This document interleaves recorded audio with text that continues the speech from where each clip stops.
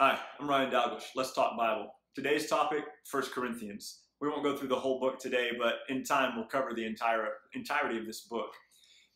When we're reading the scripture, the aim is to understand it. To understand it, of course, from the original intent, who the author was, who the audience was.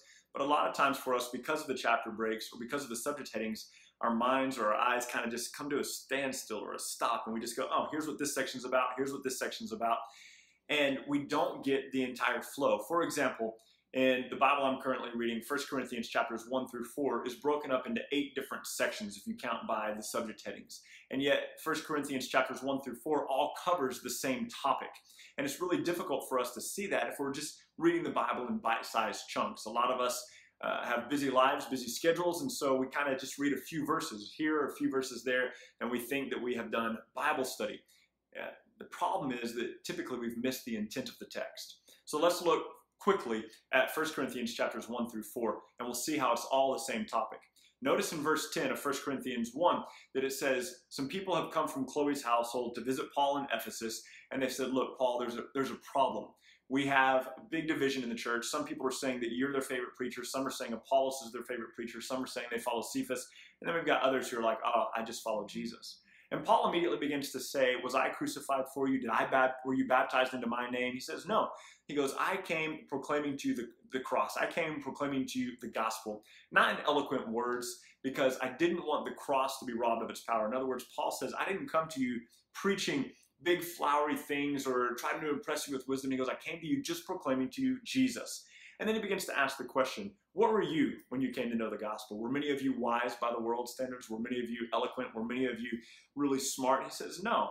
He, had, he says, for the wisdom of God, the things that are wise, the gospel in this case, are foolishness to the world.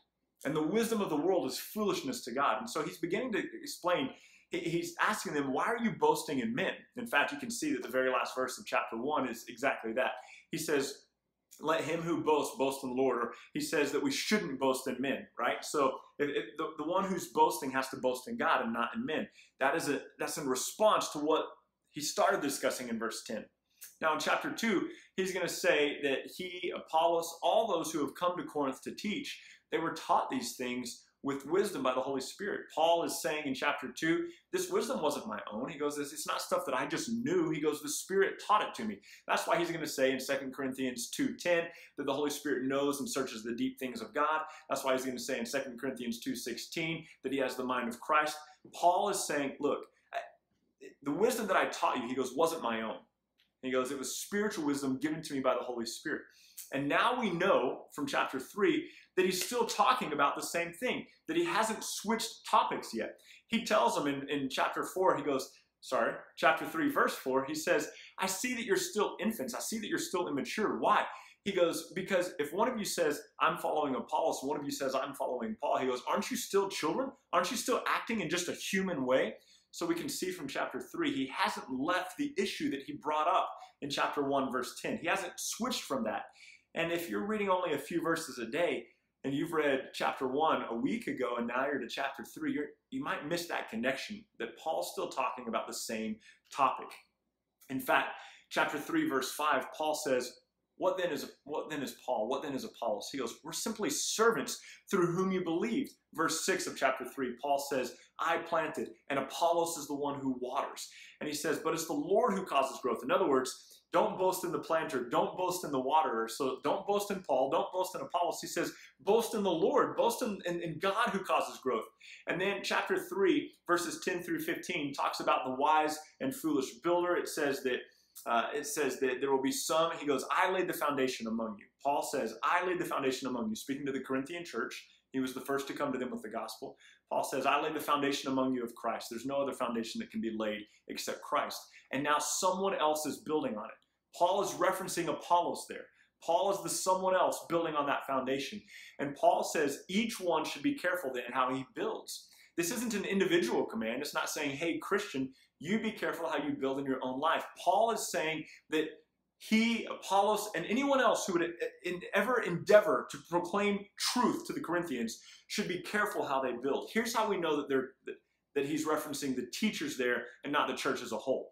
Pay attention to the pronouns.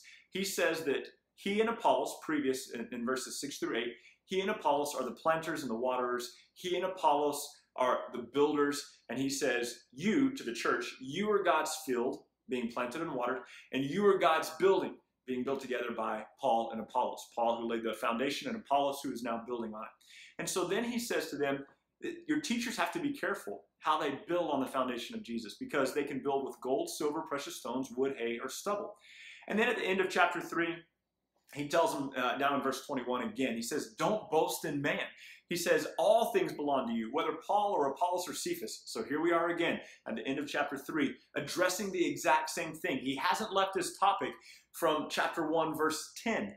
And then back into chapter 4, he says this How then should you think of us? I love this text. How then should you think of us? Paul isn't saying, Hey, how should the world view Christians? Paul is saying, Hey, church in Corinth, how should you think of us? Paul, Apollos, Cephas, who have taught you. How should you regard us? You should regard us as servants of God, stewards entrusted with the mysteries of Christ. You'll notice in verse 6, he says this. He says, I have applied all of these things, everything that he's taught up to chapter 4. He goes, I've applied all of these things to myself and Apollos so that you will know not to go beyond your limits, so that you will know not to boast in anything beyond yourself. So here it is again chapter 4, he's still addressing the issue that he brought up in chapter 1.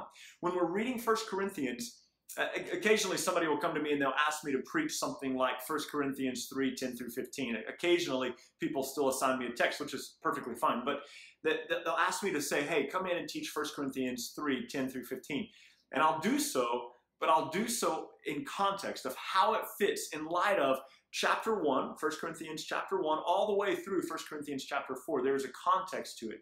And, and Paul is addressing first, in these first four chapters of Corinthians, the division that's happening in the body over who their favorite preachers are.